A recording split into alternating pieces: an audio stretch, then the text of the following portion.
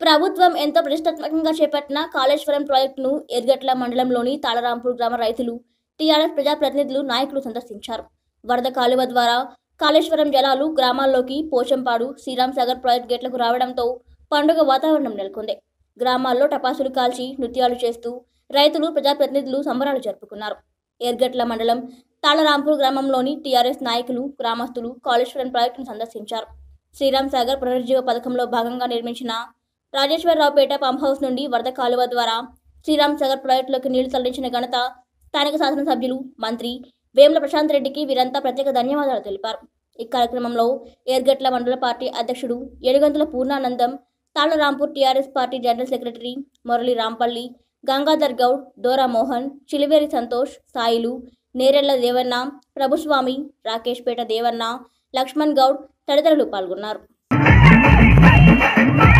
Thank you.